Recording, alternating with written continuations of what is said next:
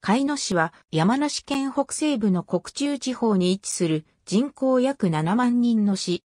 甲府市に次県内で人口第2位である。市章は旧山頂を表現する3枚の刃で頭文字の形を形作り、ハートの造形を図案化したもの。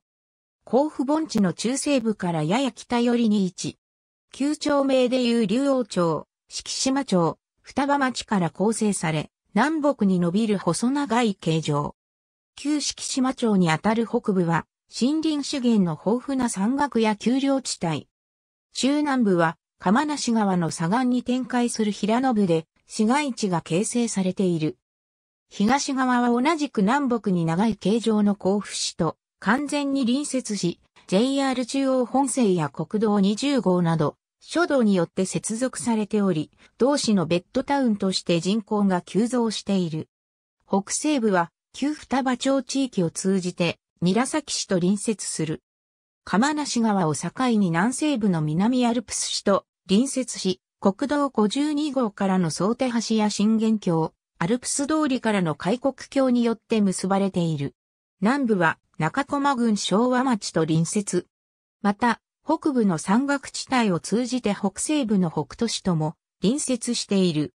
市名は山梨県の旧国名海の国に由来するが、この辺りが海の中心地となったという歴史はない。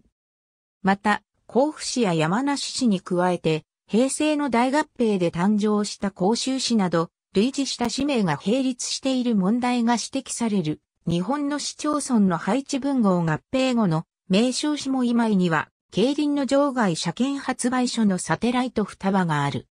旧竜王町域では、縄文時代から定住の痕跡があり、古墳時代後期には、盆地北西部勢力の一角を示す赤坂大古墳群が築かれている。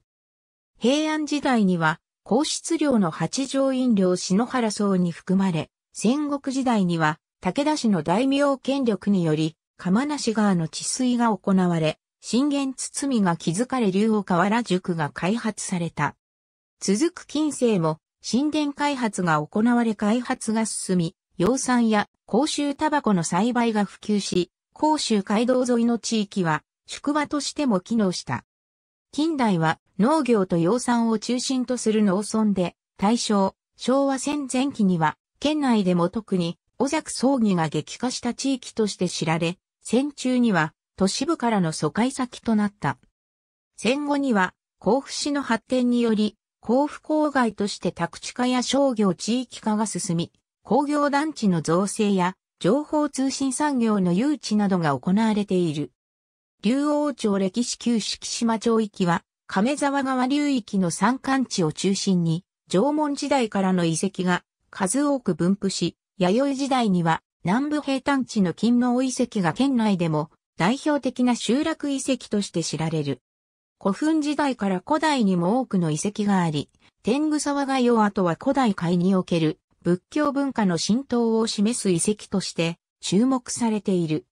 中世から近世には城下町甲府の近郊として材木などの資源を供給し、近世には北山筋十二家村が蘇馬御用を務めた。敷島町歴史級双葉町域は茅ヶ岳南麓の水利に恵まれない地域であったため、定住が遅れたが、旧竜王町域の赤坂大地と隣接する町域南部には赤坂大古墳群が分布している。中世には信濃国へ至る保坂寺が通り、戦国時代には武田氏に関する伝承や史跡が数多く存在する。近世には、陽水石の開削が行われる。戦後には、甲府近郊として都市化が進んでいる。双葉町歴史昭和初期の山形神社、ラザワ屋外双葉海の市立竜王図書館、竜王駅市の中心となる駅、竜王駅高速バス一般路線バス中央道。ありがとうございます。